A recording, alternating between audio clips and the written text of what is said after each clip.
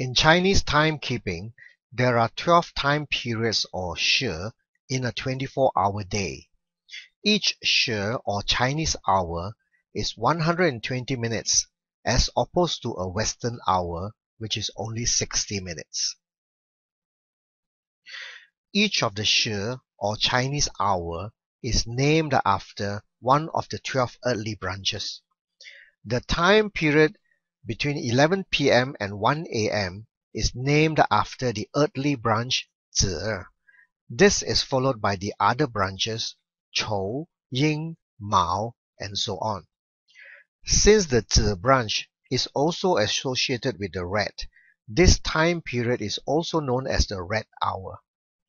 Following the red hour is Chou Shi between 1 a.m. and 3 a.m.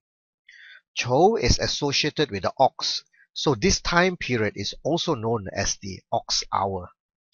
This is followed by Yin Shi, or the tiger hour between 3 a.m. and 5 a.m.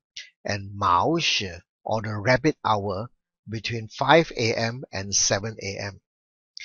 Next is Chen Shi, or the dragon hour between 7 a.m. and 9 a.m.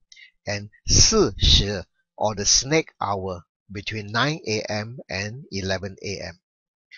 Following Si Shi is Wu Shi or the horse hour between 11 a.m. and 1 p.m. Then comes Wei, Shen, You, Xu, and finally Hai Shi. This ends the 12 time period or Shi for the day.